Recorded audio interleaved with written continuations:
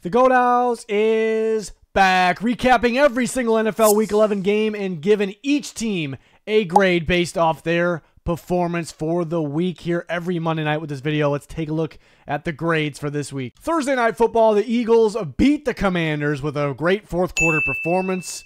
Win 26 to 18. I'm going to give the Eagles a B and the Commanders a C. And you could say, yeah, the Commanders had it for most this game. I, you know, I still felt like I felt like I was watching two teams that were more of defensive teams, which really shouldn't be the case. But the Commanders really couldn't do anything on offense. The Eagles had a very explosive offensive outing at the end of this game when it matters most. And the, again, the Commanders, most of this game was all defense, but even the defense collapsed at the end. They could not stop Barkley. They could not stop the run. So even though for the most part the defense played well, and for the most part they had control of this game, didn't really matter in the end. Give them a C for those reasons. And the Eagles, yeah, I mean they gotta to get a better grade. I mean the defense gets an A or an A plus, but to get a better grade, the offense got to do more throughout this game. It was non-existent pretty much. I mean the first drive they get some big plays to AJ Brown, have no nothing in points to show for it then, and uh, yeah, just didn't really get going until the end there. But very impressed with the Eagles defense. They're going to get a B for this week. The Commanders get a C. Packers beat the Bears by one, 20 to 19, and somewhat of a thriller there coming down in the end with a blocked field goal. I thought these teams were pretty even. I mean, the score shows it. The way the game ended shows it. But if you look at how these te- two teams played on both sides of the ball, they were fairly even. I give them both a B minus. The big positive here is when these offenses absolutely needed to move the ball and get some points they did that. Perfect world. They could have been a little better in the red zone. You know, felt like the way they were moving the ball, there should have been more points scored. Um, Love was playing good up, you know, and then had that that bad giveaway, that bad interception. You know, otherwise they, it could have been a little easier for the Packers. Defensively, the Bears' defense is usually outstanding, and they weren't awful in this game, but they're they're struggling to stop the run right now, or especially lately too. Looking even at that Cardinals game a couple weeks ago so that was odd. You know, they finally got to positive. Caleb Williams played well. He was using his legs more. They got some offense going. They were somewhat explosive. You want them to finish a little bit more. Maybe they had the game plan factor in their favor because they switched some things. The new offense coordinator, so the Packers really did not know what was happening.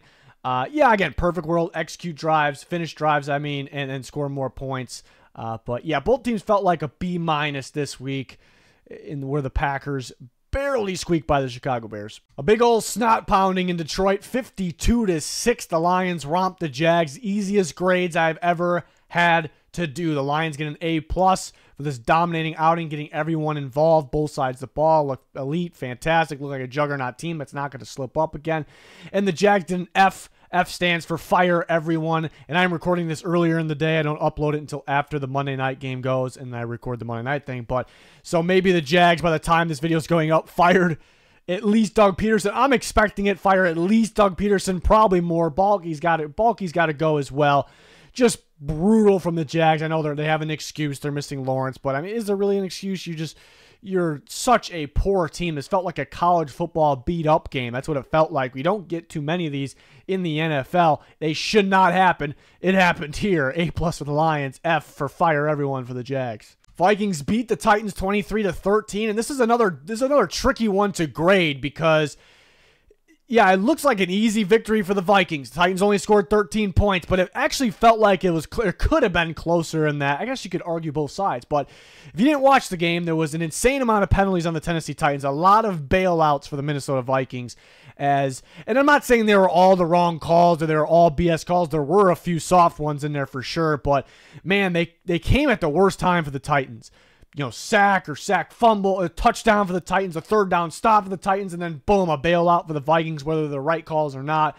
So the Vikings did kind of rely on those a little bit. So you could argue this game was a lot closer. The Titans played them a lot better than the score showed. At the same time, the Titans didn't have a whole lot going for them besides a few big splashy plays. I mean, the 98 yard touchdown from their own end was amazing. That felt like a one in, I mean, a million's a little too much, but it a rare, rare play. And if it wasn't for that, this game was probably long over. So Titans kind of stuck in the game because of that. So you could argue both sides of that, but I do think the Titans played better than what the score showed, what the 13 points show. Um, at the, so I thought about giving them better than a C, but I couldn't give them worse than a C because you know they played decent. I thought Will Levis played his best game of this year, which was a little surprising going against the Vikings defense. But at the same time, with all that being said, The Titans, again, kind of relied on a couple splash plays, didn't really do enough at all on offense. They were allowing Levis to get sacked a bit in crucial moments. Defense, I mean, Darnold moved the ball. The Titans stopped the run pretty well. The Vikings stopped the run pretty well. Again, the Vikings did rely on some bailouts, but again, Darnold played well. They moved the ball. The, the defense still played really, really well. I don't know how they gave up that 98 yard touchdown. It was one slip up right there. But other than that, I mean, the defense still did their job. They played well. They held the Titans at 13. So I came up with a B for the Vikings, a C for the Titans, but a very, very weird game that yeah, if it wasn't for some a lot of these penalties, this game could have been a very close game. The Titans could have won, but if it wasn't for like one slip up from the Vikings, they could have won in ass beating fashion. So it's a very strange game. Dolphins beat the Raiders 34 to 19. So it looked like an ass beating. I don't really think that's how it was the whole game. The Raiders, I never really felt like the Raiders were going to win or they had even though it looked like by the score through most of the game they had a shot. I never really felt like that. The Dolphins did have control and they pulled away and they were the much better team. It was a little closer than what that score shows at the end there, but at the same time, I was happy with the Dolphins' performance. Very explosive on offense. They can do what they want. They can run the ball. They can throw the ball. I mean, how about Jonnu Smith being big time? But Achane going for over 100 uh, scrimmage yards. Tua playing well. It's an explosive team, obviously. Defense, third downs, they could have been a little better, but they made plays when they needed to here. They didn't, you know, Bowers, they let that big play happen, obviously. Uh, but they end up winning big. 34 points is pretty impressive. And the Raiders defense still kind of put could put up a fight here and there. 34-19. Uh, I give the Dolphins an A minus. Yeah, it was a, at times it felt like the Raiders were still in it, so that's probably why we put the we put the minus on the A there. The Raiders, it just really never felt like they actually were gonna win or had a shot like that, and they're just giving up too many points right now. The team is just not where they want it to be. Um, talent wise, on game day, but also with the with the energy and the focus the team just does not have what, it had at the end of last year. Rams beat the Patriots 28-22. I give the Rams a B. I mean, it was a little sketchy at first. They were struggling a little bit, and the Patriots kind of stuck in this game. But as the game went on, you kind of got the feeling that the Rams, you know, it didn't. It, it, took a bit for us to get there, but it felt like the Rams were going to win this game. But the Patriots were sticking in it, right? I thought Stafford played really, really well. I mean, Puka and, and Kupp, Puka Cup, we'll call him. Um, the the duo there I thought was fantastic. You know, again, it, it's somewhat similar to the Seahawks game where, where there was a stretch of offense and there was a stretch, or I should say, a stretch of defense and then a stretch of offense. Can we get them playing at the same time? That's kind of really the only knock there, but I was thrilled with Stafford and his couple of receivers. Uh, the Patriots, they put up a good fight with the Rams. They were sticking in it. It felt like an interesting game early on, and, and again, they were sticking in. it. I thought Drake Maye played his best game as a, a, professional quarterback yet, so really excited about him. He's very clutch, especially in crucial downs, you know, third downs, and that's kind of what he was at North Carolina as well. So give the Rams a B and the Patriots a C plus. It felt like two decent teams going at. The Patriots might be better than their record. Browns and Saints, 35 to 14. This game was closer than what the score showed. It didn't, you know, the score shows an ass beating. Was it really an ass beating? I guess you can argue the Saints really pulled away and and they outplayed the Browns, but it felt like. Yeah, the Browns were in it. They're going to come back. They tie the game. Like they had the advantage. They might pull it off, but then no. And it was just big plays to Taysom Hill, multiple to Taysom Hill, and big play to MVS. So the Saints, yeah, you know, did rely on those big plays, but they played a really solid ball game on both sides of the ball. Really, they were uh, explosive on offense, and they, for the most part, stopped the Browns on defense. You know, Darren Rizzi kind of got the team fired. He looks fired up, but he's got the team fired up and ready to play here. So, um, once again, in a two-game winning streak here. So, yeah, Saints get an A minus. The Browns, yeah, felt like they were tough one to grade because it felt like they were in it more than the score showed, but just not enough. weren't able to run the ball like we all expected them to, and just just not in the defense. The defense is usually good, and the Saints are without their two best receivers, and they just had no answer for Taysom Hill, and they let MVS beat him up too, which I just did not expect to happen. It didn't help that Denzel Ward went down, but it's just it's just a very disappointing outing for the defense. You know, once again, like last year, I feel like the defense, the difference home and away is pretty significant. So A minus for the Saints, D for the Browns. Colts and Jets, an absolute thriller. The Colts win by one point, 28-27, coming down to the wire. And I'm going to give the Colts a B and the Jets a C plus. And you could say, should they be a little closer? It is close. Should they be a little closer? Because it did take to the last second for the Colts to win. I felt like the Colts were the better team in this game, though. I, I did. Rodgers was underwhelming in this game. Thought he'd be able to do a lot more. They kind of relied on Breece Hall, and Breece Hall was a problem for the Colts really was a problem for the Colts. End of the first half, and then you know in the second half there. But the Jets were struggling to even get a first down for a big stretch of this game, leading you know towards the end where Breece Hall kind of bailed them out. Um, you know t- towards the end of the first half, I should say. Um, you know, and the defense is underwhelming. They let the Colts, you know, Anthony Richardson had his best game of his career. They let him throw on him. They let him run on him. Let Pierce, AD Mitchell get loose. Josh Downs, all these guys get get loose on them you know, and it just it just Anthony Richardson was the better quarterback in this game. It's crazy going against AR versus AR here. Uh, Hall of Famer, one of the best quarterbacks of all time. It's pretty crazy. Crazy, and the Colts receivers were better, you know, than the Jets. The Colts offensive line was better. You go down the list here, and the, neither defense was great, but and that's the difference between the B and the C plus. I kind of wanted to give the Colts even better grade because I loved how Anthony Richardson played. I love how the offense played, but the defense was pretty pretty poor down the stretch. Was he stopping Breece Hall? Um, and it did kind of take to the very end to win this close to the very end to win this game but i was very happy with anthony richardson in this game expected a good game from him and he uh he uh did that i think and some. Just had the one bad play which holding on the ball when the pressure was coming straight at him and then he fumbled it obviously.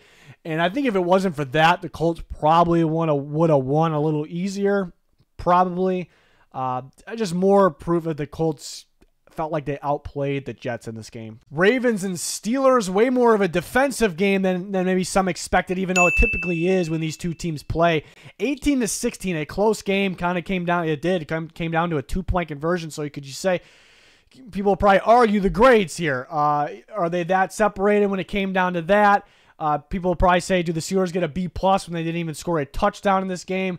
And I can understand that, why people would think that, but I did really feel like the Steelers outplayed the Ravens in this game. The Ravens were a little sloppy. Obviously, with the fumbles, you know, Russ had that bad interception, which a field goal would have been huge because the Ravens wouldn't have had a shot at the end there. So that was tough. But Steelers defense looked elite. It took the last, you know, last seconds for the Ravens to go score, and you know, and Steelers defense was trying still, so they can't give that up. But Steelers defense was awesome in this game. The and the offense moved the ball. Yeah, perfect world. score touchdowns, not field goals, but they played a really really solid game. They would have been in the A range if they could have scored some touchdowns. But yeah, they were the better team in this game. They outplayed the Ravens here in Pittsburgh in, in a massive win for them to stay at the top of that big time division. So B plus for the Steelers, C plus for the Ravens. The Ravens, yeah, it's a little sloppy. Um, you know, they kind of rely on Derrick Henry. It feels like just going bonkers from the start you know, they probably won one game where he hasn't done that. So uh, that's kind of the issue there with the offense. You know, and the defense finally picks it up, sort of. The Steelers move the ball still, but finally picks it up a little bit, at least in the red zone. But then the offense can't back them up. So tough one there for the Ravens. Very easy one to grade here. The Broncos shellacked the Falcons. Wasn't even close. Just my number one, you know, takeaway, like why they beat them up. What was the most evident in that game? Just more physical just just wanted it more too, just in a way smoother. Everything was, especially on offense, it all looks the plays just look so smooth how, how they were how they were run. Uh, led by Bo Nix, who played his best game of his young career. I mean, very happy with Bo Nix in this game. I love the way he gets out of the pocket and throws on the run. That's my favorite thing.